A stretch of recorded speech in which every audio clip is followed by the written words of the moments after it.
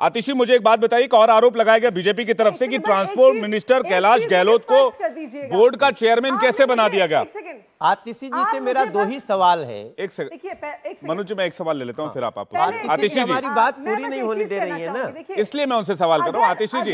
अगर ये मेरा दूसरा सवाल यही था कि एक मिनिस्टर चेयरमैन कैसे हो सकता है डीटीसी का? ये तो बताइए। तो घोटाला हुआ ठीक है आतिशी जी सवाल मनोज जी ये कर रहे हैं सवाल मनोज जी ये कह रहे हैं एक मिनिस्टर डीटीसी का चेयरमैन कैसे हो सकता है? नहीं मैं एक चीज़ क्लैरिफाई करना चाहती हूँ। जी। हाँ। देखिए मैं बस एक चीज़ क्लैरिफाई करना चाहती हूँ विवेक जी। देखिए मनोज तिवारी जी वरिष्ठ नेता हैं भारतीय जनता पार्टी के हमारे भी सीनियर हैं सांसद हैं बहुत एक गंभीर आरोप लगा रहे हैं। लेकिन मुझे अभी तक उनकी बात से ये स्पष्ट नहीं हुआ है कि वो कह रहे हैं कि साढ़े तीन हज़ार करोड़ का घोटाला है यहाँ साढ़े तीन हज़ार करोड़ वो कह रहे हैं साढ़े तीन हज़ार का बारह साल के लिए हो सकती। बसों की एएमसी थी। हज़ार का घोटाला है। मैं आपको बता रहा हूँ क्या कह रहा घोटाला नहीं आतिशी एक सेकंड। मतलब देखिए ऐसे समय बर्बाद करने से किसी का कोई फ़ायदा नहीं सुनिए मेरी बात। एक सेकंड। आतिशी ऐसे समय देखिए बहुत कीमती समय है टेलीविज़न पर आप सभी जानते हैं। आप भारतीय जनता आप दोनों बड़ी पार्टी से आते हैं बड़े पार्टी के बड़े प्रवक्ता नेता। मेरी आप मेरी बात सुन ले आतिशी। आतिशी जी आप मेरा प्रश्न सुन ले मनोज मनोज आप नहीं है आतिशी एक सेकंड। भारतीय जनता पार्टी नहीं नहीं कोई प्रवक्ता जवाब देंगे मैं तो आपसे सवाल कर रहा हूँ। मैं आपको ये कह रहा हूँ कि आप बातों को घुमाए ना आप सीधा सीधा जवाब दीजिए। जनता पार्टी के आप आप ये बताइए कि एक ट्रांसपोर्ट तो मिनिस्टर को डीटीसी बोर्ड का चेयरमैन कैसे बनाया गया? सेकंड विवेक जी पहले विवेक जी एक सेकंड पहले इस बात का स्पष्ट जवाब होना चाहिए। ये कोई मैं बहुत घुमा फिरा नहीं रही बात को।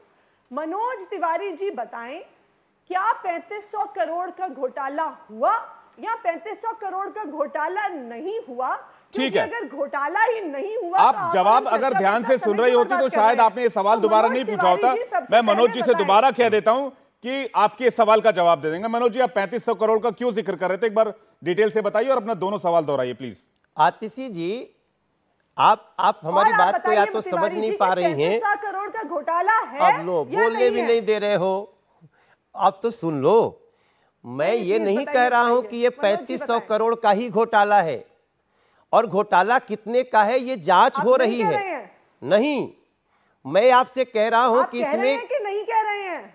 आहा आतिशी जी लेट मी कम जी आप कुछ तो स्पष्ट कर दीजिए। हाँ मैं कह रहा हूँ घोटाला है सत्तासी सत्तासी लाख की बस आनी है और पैंतीस सौ करोड़ रुपया मेंटेनेंस होगा। हाँ इसके पीछे कितना घोटाला हुआ होगा कितनी बड़ी डील हुई होगी ये एक जाँच का विषय है और दूसरा प्रश्न है।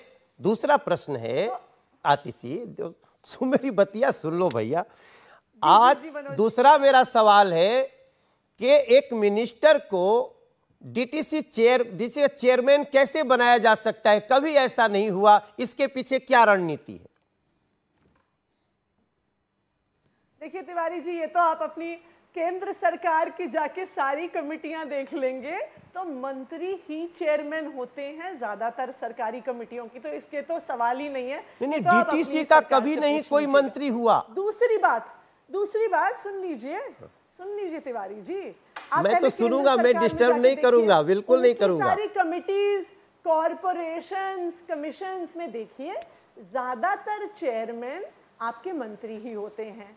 तो इसलिए ये तो कोई सवाल ही नहीं है। नहीं नहीं। दूसरी बात आप ये कह रहे हैं कि बस की खरीद में घोटाला हुआ ये आपका सवाल है ना?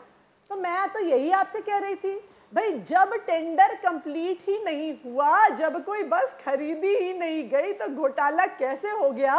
ये बिल्कुल आपका जादुई गणित है। और क्योंकि आपका ये जादुई गणित है इसलिए मनोज तिवारी जी आप अभी तक बता नहीं पा रहे हैं कि क्या घोटाला हुआ है या नहीं हुआ है और कितने का घोटाला हुआ है। यही तो पत... इनकी समस्या ये है हाँ। कि ये परेशान है अरविंद केजरीवाल की बढ़ती हुई लोकप्रियता से। तो इसलिए इन्हें रोज रोज रोज रोज कुछ मनगणत आरोप बना के लाने होते हैं।